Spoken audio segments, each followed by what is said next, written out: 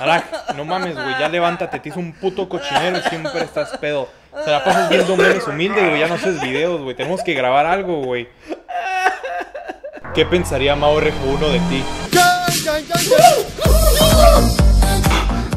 Tiene razón, Mike.